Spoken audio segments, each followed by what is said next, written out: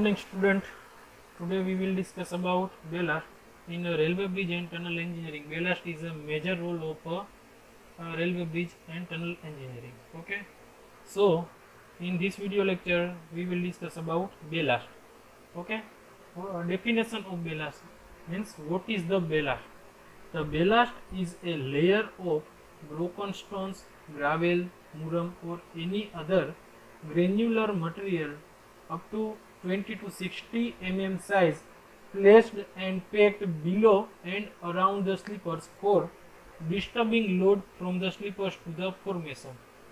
The ballast is given side slope of 1.5 gem 1 and ballast material consists of granite, trap, quartzite, limestone, etc.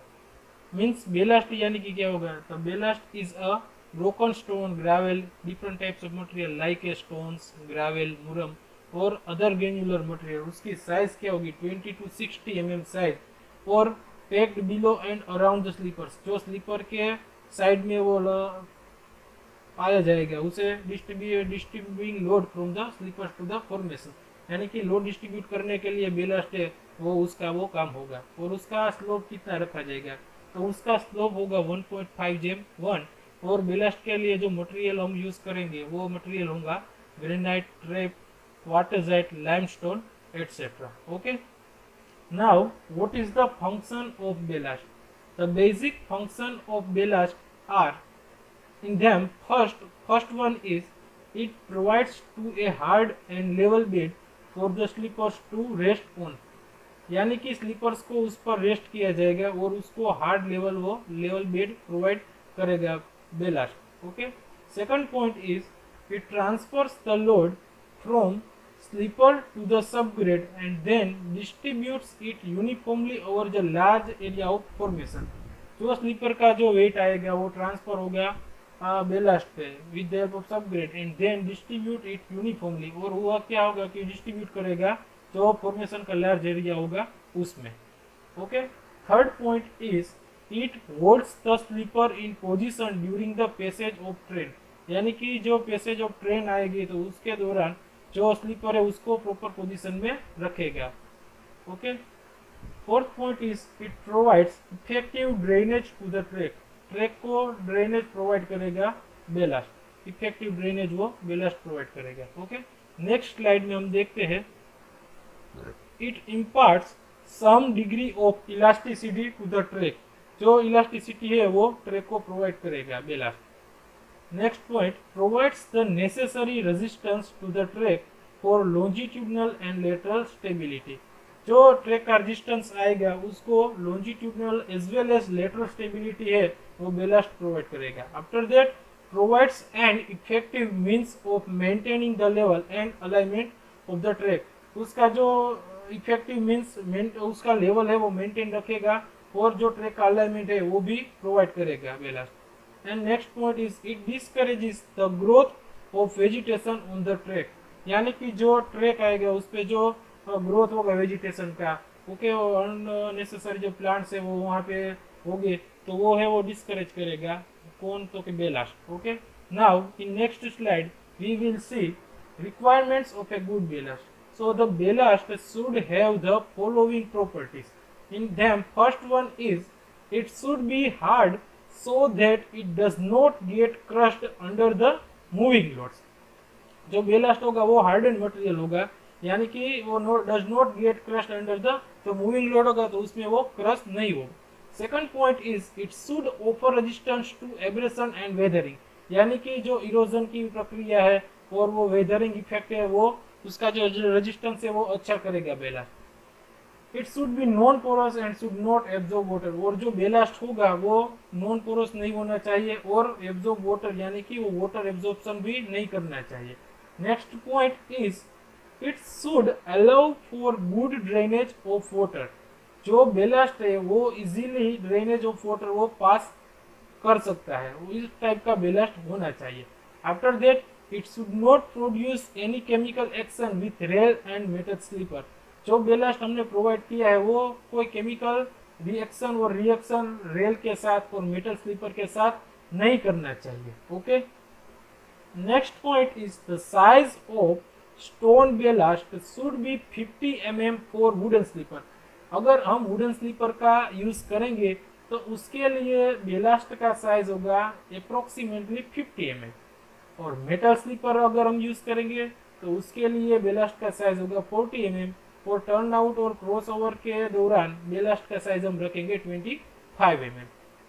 Next point is it should be generally cubical with sharp edge जो ballast है वो cubical shape में और उसकी as है वो थोड़ी सी sharp होनी चाहिए okay the ballast material should be easily workable by means of the implements in use जो बेलास्ट मटेरियल है वो इजीली वर्केबल होना चाहिए मींस ऑफ़ द इम्प्लीमेंट और उसका जो यूज़ है हम आसानी से कर सकते हैं। It should retain its position laterally and longitudinally under all conditions of traffic जो उसकी पोजीशन है वो लेटरली और लॉन्जिट्यूडनली हम दोनों टाइप्स की रख सकते हैं ट्रैफ़िक और आइडियल कंडीशन में।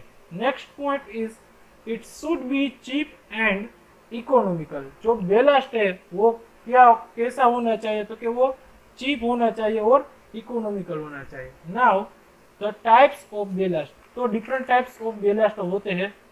कौन कौन से टाइप्स के बेल होते हैं? Different materials used as ballast in India are first one is broken stone ballast second one in gravel ballast third one in moorum ballast fourth one sand ballast fifth one coal ash और पैंडर ballast और sixth one is other material अगर हम बात करें broken stone ballast की तो broken stone ballast क्या है? तो ब्रोकन स्टोन बेलास्ट है, वो इस टाइप का मटेरियल है। वो जो ट्रे का उसका इम्पोर्टेंस है, वो बढ़ाता है। और जो स्टोन बेलास्ट हम यूज़ करेंगे तो उसकी जो स्टेबिलिटी है, वो भी अच्छी रहेगी ओके और अगर गुड स्टोन बेलास्ट हम जनरली यूज़ करेंगे किस टाइप के? तो क्या ग्रेनाइट का होगा क्वार्टरजाइट का होगा सेंट स्टोन का होगा, और हार्ड ट्रिप का भी हम स्टोन बेलास्ट है, वो यूज़ कर सकते हैं।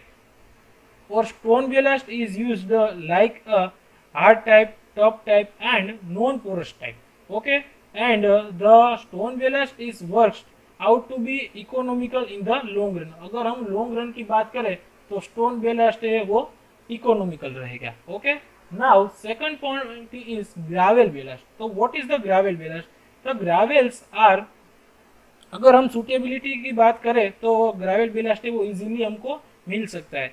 और अगर लार्ज क्वांटिटी की बात करें तो different types of country or many other countries uh, countries are used to gravel ballast because it is easily available and the process of like a ramming the ballast underneath the sleeper is known as packing उसको packing बोला जाएगा और the ballast जो sleeper के जो अबो layer में जो ballast होगा उसको हम कहते हैं boxing so the loose ballast between the two adjacent sleeper is known as ballast crib okay तो ग्रेवल बेलास्ट है उसका हम उपयोग इस तरीके से कर सकते हैं।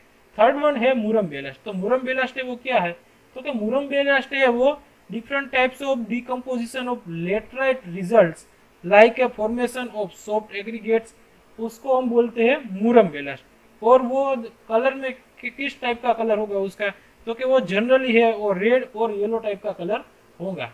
उसके बाद है sand ballast. The sand ballast is a good ballast material. The coarse sand is preferred in coarse sand is preferred or fine sand is a sand ballast.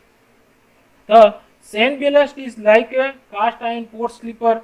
At that time sand ballast is used and sand ballast is also used uh, wooden slipper and steel through slippers where traffic density is very low at that time sand ballast we have to use Fifth one is coal ash or kinder ballast. So coal ash is easily available in large quantity on railways from coal being used in locomotives. अगर हम locomotive है वो कोल type का use करेंगे तो कोल ऐसे वो हमको वहाँ से इजीली अवेलेबल हो सकता है और कोल ऐसे वो वो क्या किस कहाँ पे उसका यूज़ होगा तो क्या it is used in yards और साइडिंग्स और initial ballast in new construction as it is very cheap और उसके जो कॉस्ट है वो भी कम है। It can not be use for main line उसका उपयोग वो हम मेन लाइन में नहीं कर सकते हैं। Okay okay? और जो कोल और काइंडल बेलास्ट है, वो स्टील स्लीपर है, उसके लिए हार्मफुल हो सकता है। और जो उसका फिटिंग्स है, वो भी इजीली नहीं है। तो उसका कोरोजिव है, वो भी कोलेस में कोरोजिव का भी चांसेस बढ़ सकता है। और सिक्स टाइप है अदर मटेरियल तो अदर मटेरियल की बात करें हम बेलास्ट में। तो अदर मटेरियल कौन कौन से आएँगे? तो अदर मटेरियल में आ सकता है brick bat ballast kankar ballast blast furnace slag ballast और अर्थ बेलास्ट ओके तो ये हमने देखे different types of ballast now size of ballast so concrete and wooden sleepers like a 50 mm or 2 inch ballast were specified for flat bottom sleepers. After that, metal sleepers CST9 and 2 sleepers approximately size is 40 mm or 1.5 inch are used. After that now 50 mm ballast have been adopted universally for all types of sleeper. Generally nowadays uh, we have to use 50 mm ballast in all over the world for different types of sleeper. At that time generally world have adopted 50 mm ballast size. Now points and crossings are subjected to heavy blows of moving loads and are maintained for a higher degree of precision. A small size 25 mm ballast are used. अगर हम points and we have to talk about points and cross uh, crossings, so subjected like a heavy blows moving uh, of moving loads. So at that time higher degree of precision we have to use 25 mm ballast. Uh, at that time we have to prefer. Now minimum depth of ballast section. The vertical distance between the bottom of slipper to the top of subgrade is called the depth of ballast. So what is the depth of ballast? Depth of ballast is the vertical distance. जो distance होगा किसके बीच का तो क्या bottom of sleeper और top of subgrade के बीच का जो वो डिस्टेंस वर्टिकल डिस्टेंस होगा तो उसको हम बोलेंगे depth of ballast the load on the sleeper is transferred through the medium of the ballast of the formation. Now the depth of ballast can be calculated below. Slipper spacing is equal to width of slipper plus in bracket 2 multiplied by depth of ballast. So we can say that capital S is equal to W plus in bracket 2 multiplied by depth of ballast. So finally we have to meet dB is equal to S minus W divided by 2 okay so in this figure we have two details of ballast section. यहाँ पे width of metre gauge broad gauge और narrow gauge की यहाँ पे with the गई है। Broad gauge है, उसकी विथ है 3.35 मीटर मीटर गेज की है 2.25 मीटर और नेरो गेज की है 1.83 मीटर और यहाँ पे बेलास्ट शोल्डर है, वो दिखाया गया है। और यहाँ पे ब्रॉड गेज के 20 टू 25 सेंटीमीटर लिया गया 15 to 20 centimetre for metre gauge और 15 सेंटीमीटर फॉर नेरो गेज और यहाँ पे जो साइड सेक्शन में जो साइड क्रॉस स्लोप रखा है, वो 1.5 पॉइंट एम टू वन रखा गया है बेलास्ट सेक्शन के लिए ओके तो ये फिगर को देख के आपको समझ आ गया होगा कि बेलास्ट सेक्शन वो किस टाइप का है। Okay now renewal of ballast so due to constant hammering action of the wheels और जो व्हील है उसका कॉन्स्टेंट हेमरिंग होगा तो उसके लिए द्वारा क्या होगा? So the ballast material guest crush to smaller size so जो बेलास्ट मटेरियल है वो स्मॉलर साइज़ उसका हो जाएगा। The quality of ballast is also reduce due to जो बेलास्ट की क्वालिटी है, वो भी रिड्यूस हो जाएगी। किस तरीके से विच टाइप से to reduce the quality of ballast so first point is the penetration of the ballast in the formation second one is blowing away of the ballast by the movement of trains जो trains की movement होगी तो जो ballast है वो blowing away तो यानी कि ट्रैक से वो दूर हो जाएँगे। Third one is loss of ballast due to wind and rain water जो विंड इफ़ेक्ट होगी या रेन वाटर की इफ़ेक्ट होगी तो उससे वो लॉस ऑफ़ बेलर भी हो सकता है now the frames about one five double zero M M multiplied one two double zero M with expanded metal with wire mesh are put parallel to the track this frames are kept in incline position at a convenient angle The dirty ballast is then thrown on these frames. The screen ballast is collected on the front side of the frame. The required quantity of the additional ballast is added to the screen ballast so as to make up the deficiency and then the railway track is packed with the, this ballast as before.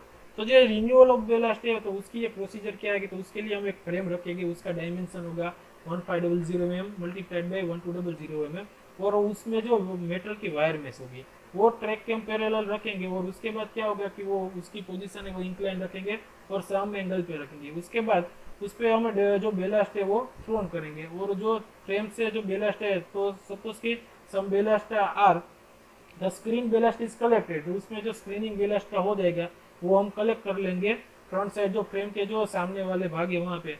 और the required quantity of the additional और जो additional quantity है वो हम उसमें बढ़ाते जाएँगे, और to the screen ballasting so as to make up the deficiency और जो उसके जो कम हो गए होंगे तो उसमें बेलास्ट वेट करते चले जाएँगे। और and then the railway track is paid for railway track also these types of ballast uh, we have to put on these types of ballast on the railway track okay? So this figure is uh, clearly shown that uh, this is a support and here two dust particles are to collected here and the screen ballast are moving or thrown on the uh, front side of the wire this wire mesh and frame with wire mesh this is a clearly picture you are shown okay? Screen ballast are here and this is support and this is a dust okay. So now thank you. If uh, in this lecture you have to note uh, any query related to ballast or renewal of ballast different types of uh, ballast uh, function of ballast or importance of ballast you can also make contact on double eight double six three zero two five five one. Okay. Thank you